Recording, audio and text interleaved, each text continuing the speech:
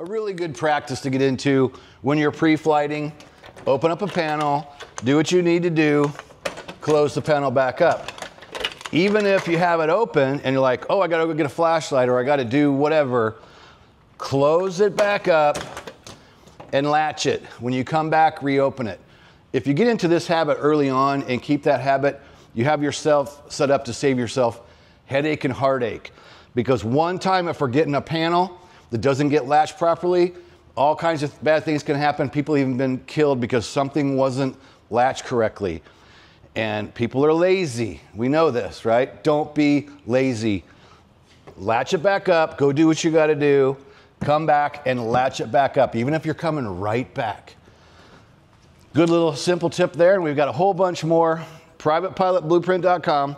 This is our Amazon number one bestseller. All kinds of tips and tricks and things to help you along with your helicopter rating. PrivateBlueprint.com. Peace out. When you feel the pressure to fly, but know the right decision is to stay on the ground, hit the hogs, no go, and live to fly another day.